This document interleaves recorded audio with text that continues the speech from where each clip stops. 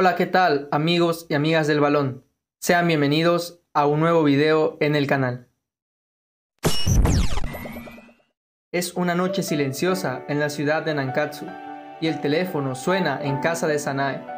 Es Subasa, quien ha llamado para darle una noticia.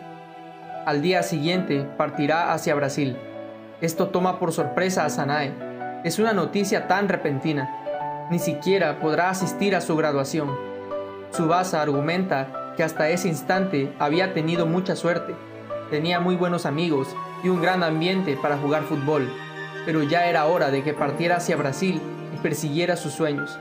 Agrega que quiere partir solo, pues si todos van con él a despedirlo, la nostalgia se apoderará de él y querrá regresar a Japón lo más pronto posible.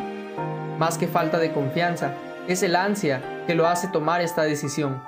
Pero una vez que esté en Brasil, solo se concentrará en el fútbol y todo desaparecerá. La ha llamado porque sentía que al menos debía despedirse de ella será como Wakabayashi y no volverá a Japón hasta haberse convertido en profesional. Le pide que cuide de todos y cuelga. A la mañana siguiente, el aire de primavera comienza a sentirse en tierras japonesas.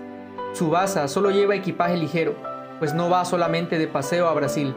Si necesita algo, lo adquirirá en su nueva tierra. Aún es temprano para tomar el autobús, pero al ser su último día en Nankatsu, quiere recorrer toda la ciudad. Nos vemos. Papá, mamá, me voy.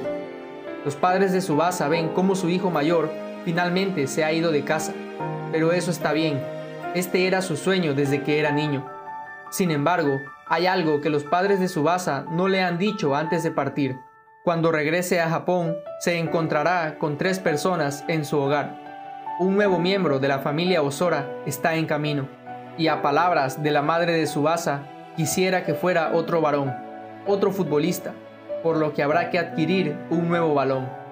Mientras trota hacia la parada de autobuses, Tsubasa pasa por el lugar donde comenzó todo, donde conoció a tres de sus más grandes amigos, donde conoció a Genso, Ishizaki y por supuesto a Roberto. Posteriormente, pasa por la mansión de Wakabayashi y aprovecha para despedirse de John. Al igual que su dueño, se va al extranjero para convertirse en futbolista profesional. Metros más adelante, pasa por el campo de entrenamiento de la primaria de Nankatsu, donde los pequeños se pelean por ser Maradona, Platini y también Subasa Osora.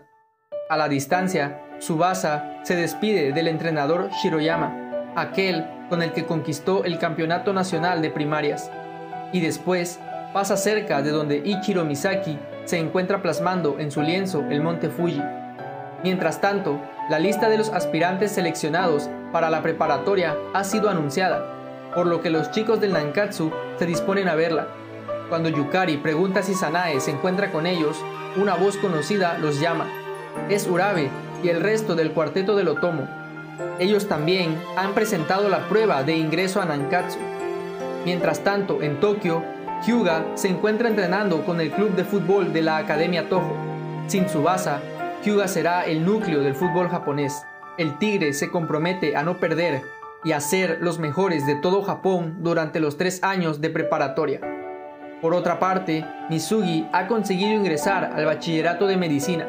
Se convertirá en un médico y ayudará a aquellos que, como él, no pueden practicar el deporte que aman.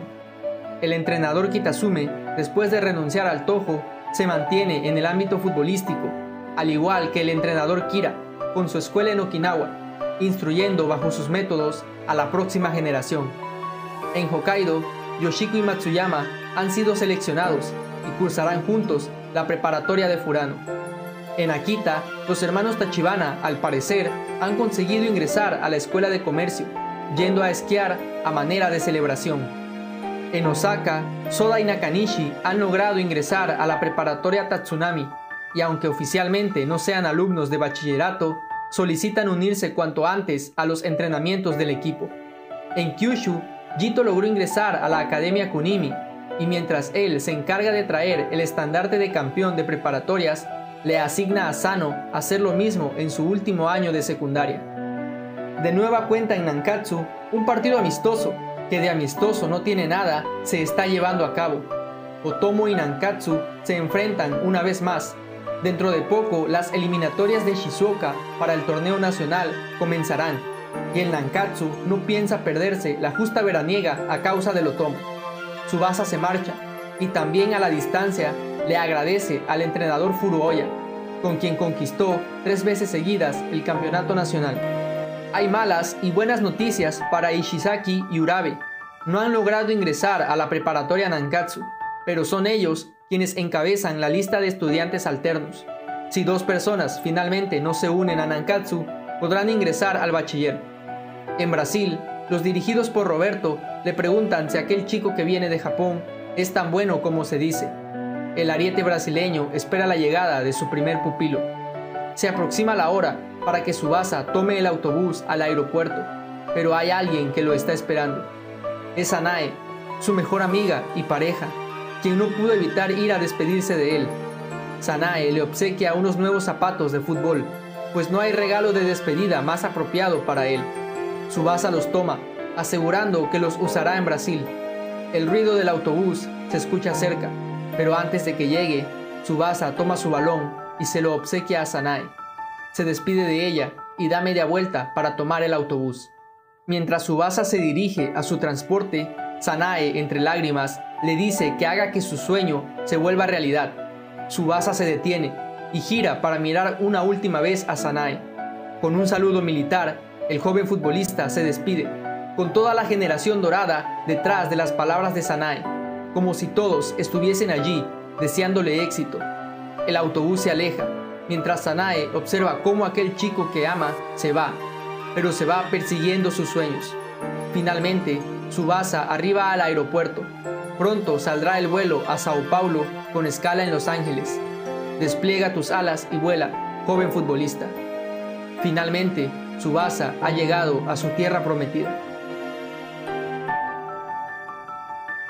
Esta ocasión le mando saludos a Cristian Ramírez, River24, María Aguilar, Darío 14 y Alexis Tomás Córdoba.